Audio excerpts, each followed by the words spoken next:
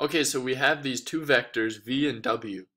And the question is, how can we find the set of all vectors that are orthogonal, right, just means perpendicular, to both v and w? So before we jump in and use a whole bunch of numbers and calculate it out, um, let's do a quick thought experiment. So imagine, well, first of all, these two vectors, right, they both start at the origin and then they are a little ray, a little arrow that points to these, these two points in three-dimensional space. So imagine that you have, imagine that you could represent these two vectors with pencils. So you take the pencils and you touch their erasers together and um, and they don't have to be the same length, the pencils, but the erasers touch each other, representing the fact that these two vectors both start at the origin. And then you kind of, you no matter how you twist or turn or rotate the two pencils, um, you can always take a third pencil and touch its eraser to the first two pencils erasers and orient the third pencil in a way such that it is orthogonal to the first two pencils. So hopefully you're seeing this in your head too. But that's what we're going to find. And then once you get that sweet spot where that third pencil is orthogonal to both the first and second pencil, you can change the length of that pencil. You can make it longer, you could you can make it shorter, you could like flip it completely, like scale it by negative one, and then it would still be orthogonal to V and W. And so uh, that's what we're gonna find is that the, the solution set, like all the all the vectors orthogonal to V and W are gonna be the span of one vector because it's gonna be a line. So let's jump in. How do you actually do this? Um, we're going to define a generic vector x that takes the form, it's going to be in three dimensions too, so it's going to take the form x1, x2, x3. And this vector x we're saying has to be orthogonal to both v and w, meaning x dot v has to equal 0 and x dot w has to equal 0. And you can see that this is going to give us a system of two equations and three unknowns, x1, x2, x3. So let's write, let's write those two equations out. So here are those two equations. I, I literally just did the dot product, you know, by its definition of x dot v. So I got um, x1 times 6 plus x2 times negative 2 plus x3 times negative 12. And that we're saying has to equal 0 because x we want it to be orthogonal to v. So that's how I got this first equation. Then I do the same thing with x dot w, and I get this second equation. And notice, this is two equations with three unknowns. And we've been solving these things all semester long. So how do you find the, the solution set to this system of two equations and three unknowns? Well, you can put it in an augmented matrix. So let's do that. Okay, so here's our augmented matrix representation of the system of equations.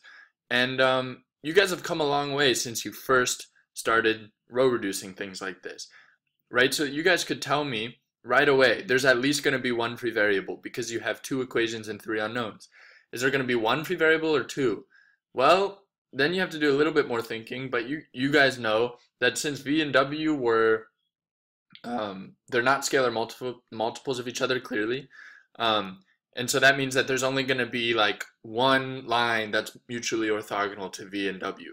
If v and w were scalar multiples of each other, then try to picture this, you could have a whole plane. So if v and w, this is a little bit of a tangent, but that's okay. If v and w were scalar multiples of each other, right? So if this is v and this is w, then you could have a whole plane like this. Any vector in this plane, this vector, this vector, this vector, would be orthogonal. Here's a right angle mark. Would be orthogonal to both v and w. But as the vectors are given, v and w are not scalar multiples of each other. And so there's only going to be one line of vectors that are mutually orthogonal. So let's go ahead and row reduce this matrix and find our solution to the system of equations. So now we've made it all the way down to reduced row echelon form. Now you guys know the process. You can just write the solution set in parametric vector form. We get x1, right? This is the x1 column, x2 column, x3 column x1 equals, I move the negative 5 fourths x3 to the over, over to the other side, and I get 5 fourths x3, x2 is equal to, I move this positive 9 fourths over to the other side, I get negative 9 fourths. So don't forget that that sign is going to change. Okay, I saw a lot of people make that mistake on the midterm 3. So x2 is negative 9 fourths x3. And then lastly, x3 doesn't x3's column doesn't have a pivot, so x3 is a free variable. So we say x3 can be anything we want it to be. This all means that our vectors x, which were we were defining to be uh, orthogonal to both v and w, this is what we want. We want to get the collection of all our x vectors. Our, our x vectors, which we defined up here to be x1, x2, x3, take the form, given this parametrization, x3 times 5 fourths, negative 9 fourths, and 1. So any so here's our third pencil. Do you guys remember? Any um any scalar multiple of this vector is going to be orthogonal to both v and w. So that's the long way to do it. And uh, here's a shortcut. It's really not that much of a shortcut. It just saves you the hassle of doing like this stuff up here. Basically, if you have a set of vectors, um, let me let me write out an, an example problem. So in general, if you want to find the set of all vectors orthogonal to a set of vectors, um, like if you had more than two or just any arbitrary number of vectors, then the solution, the process is very simple. You put, um, you make an a, a matrix. For some reason, we always call the matrices A. You go like this. You put it as row vectors in this matrix. V1, V2. So you transpose the vectors and you put them as the rows of a matrix A, dot, dot, dot, Vn, right? This is the last row. And then you find, so then the solution, the, the set of all vectors orthogonal to v1, v2, dot, dot, dot, vn, is the null space of A, right? And let's check, make sure that's what we did earlier.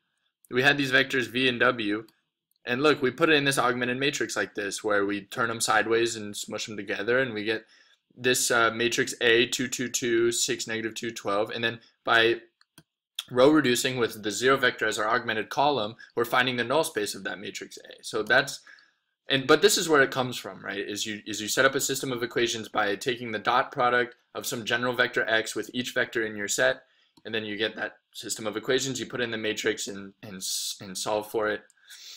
And uh, but this is the shortcut. So if you want to memorize this, go for it. All right, I'll see you in the next video.